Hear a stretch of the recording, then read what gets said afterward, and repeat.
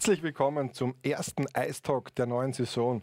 Ich darf heute Bernhard Starkbaum von den Spuso Vienna Capitals bei mir begrüßen. Schön, dass du vorbeigeschaut hast. Hallo und danke für die Einladung. Du bist jetzt in neuer Funktion. Du bist seit einigen Monaten der Goalie-Coach der Capitals. Verfolgst du die Spiele der Win to the Eishockey Liga jetzt auch unter einem ganz anderen Aspekt?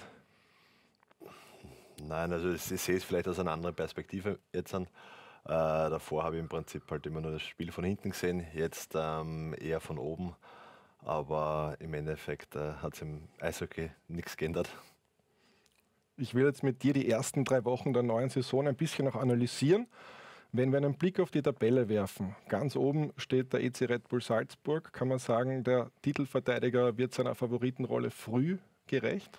Ja, ich denke, äh, Salzburg hat einen sehr guten, einen sehr tiefen Kader von der Qualität her top, sehr viele Nationalteamspieler, ähm, gute Imports, äh, von dem her wir ausgegangen. Denke, dass die vorne äh, gleich vorne wegziehen werden, aber ähm, wie wir auch gesehen haben den anderen Spielen, sind sehr viele enge Spiele dabei. Ähm, jeder kann jeden schlagen und da hast du einfach wirklich jede Nacht performen. Es gab ja über den Sommer bei einigen Vereinen Trainerwechsel, so auch bei Salzburg.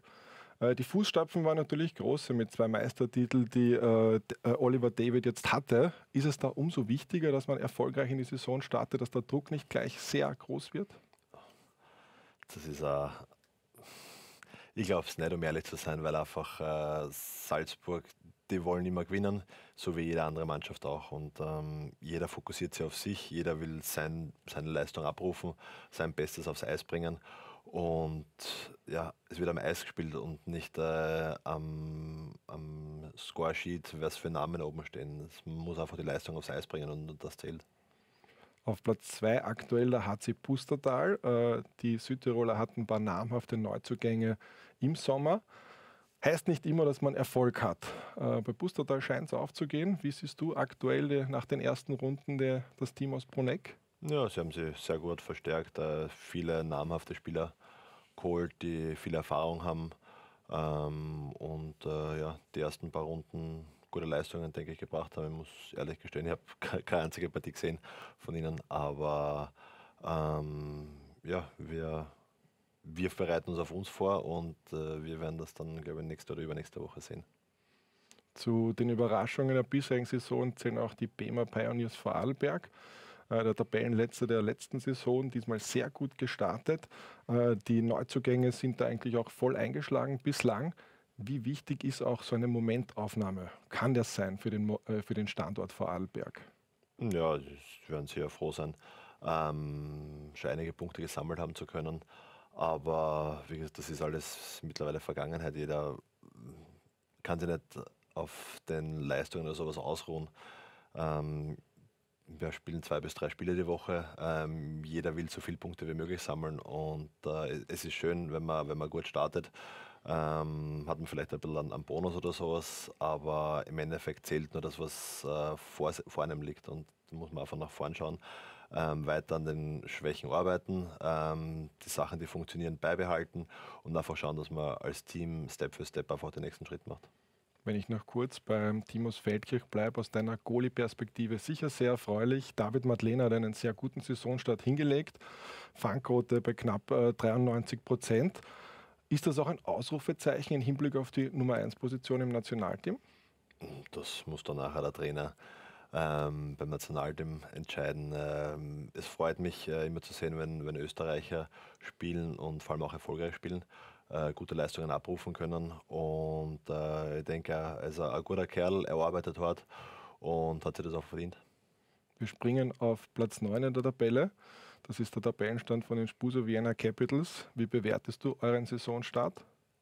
Ja, ich denke, ähm, gemischt, sagen wir mal so. Wir haben äh, leider Gottes sehr viele Verletzungen. Ähm, dadurch ist unser, unser Line-up teilweise sehr, sehr knapp.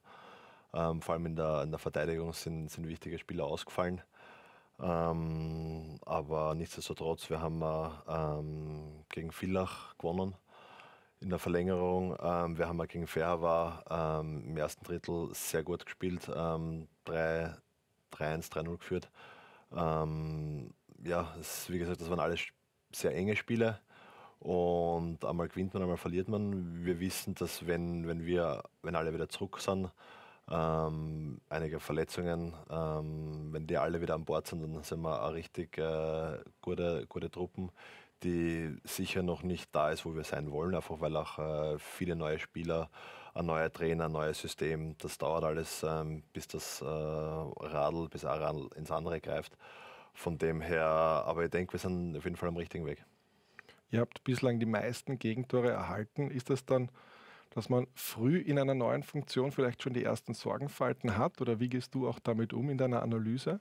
Das ist ein, ist ein Teil im Prinzip. Wir haben ähm, mehr Tore bekommen, als äh, wir letztes Jahr gekriegt haben, aber wir haben auch ähm, mehr geschossen im Vergleich zu dem, was wir äh, letztes Jahr ähm, gehabt haben. Und ähm, wie gesagt, das ist ein komplett neues Spielsystem. Jeder Spieler muss erst dran gewöhnen. Ähm, die Laufwege, die funktionieren manchmal super, manchmal nicht so gut.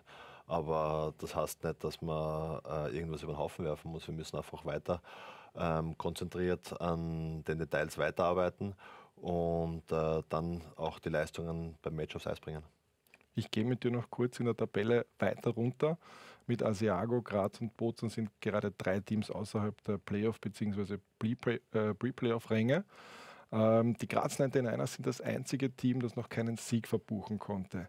Nimmt man das so ein bisschen dann als Rucksack Runde für Runde mit? Wird das dann vielleicht auch zu einer mentalen Komponente?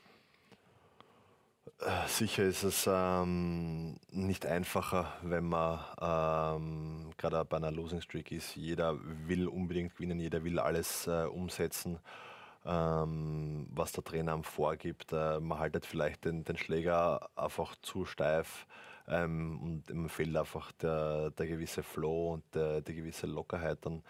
Ähm, aber ja, in solchen Situationen hilft es nichts. Man muss einfach weiter hart arbeiten und an sich glauben. Das ist ganz wichtig, weil wenn du da auf einer Losing Streak bist und ähm, immer nur denkst ans Negative, dann wird es nie ins Positive umschwappen können. Du musst einfach weiter ähm, an dich selber glauben, ähm, vorwärts schauen und sagen, okay, die zwei, drei Kleinigkeiten, denen mag ich arbeiten, keep it simple und dann einfach weitergehen. Und zur großen Überraschung der HCB Südtirol aktuell am Tabellenende gefühlt glaubt jeder oder wartet jeder, bis der Erfolgslauf äh, der Füchse beginnt. Rechnest du damit, dass sie bald einen Lauf starten können? Weiß ich nicht. Das, ähm, ich habe auch Bozen bis jetzt noch nicht gesehen. Wir fahren jetzt am, am Wochenende nach äh, Bozen. Da werden wir, das erste Mal sehen, wie Bozen spielt. Aber vom Kader her, denke ich, haben die ähm, sehr, sehr starke Truppen, genauso wie, wie sie letztes Jahr gehabt haben. Ähm, sie haben einen neuen Trainer gehabt, mittlerweile ist er auch wieder weg. Ähm, jetzt ist ein altbekanntes Gesicht, jetzt dann, denke ich, werden sie wieder zur, zur alten Taktik oder weiß nicht vom letzten Jahr zurückgreifen. Ähm, wie auch immer, sie, Qualität ist vorhanden und ähm, es reicht oft einmal äh, ein Spiel und dann wird der Schalter umgelegt und auf einmal läuft wieder alles. Also es sind oft Kleinigkeiten, die ein Spiel entscheiden können. Und ja, dann hast du mal vielleicht nicht das Pech auf deiner Seite, sondern die Scheibe hupft für dich und anstatt dass die Stange raushupft, hupft die Stange rein. Und ähm, ich denke, Bozen wird äh, weiter hart arbeiten und äh, versuchen in den nächsten Runden äh, Punkte zu sammeln.